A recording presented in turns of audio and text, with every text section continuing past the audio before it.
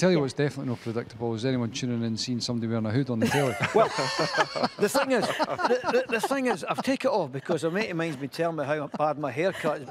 One side's been cut with shears, the other with scissors, he said. So uh, I think we're all in the same I, boat at I, the moment. So I was a bit conscientious about my It looks lovely, Gordon. No, not at all.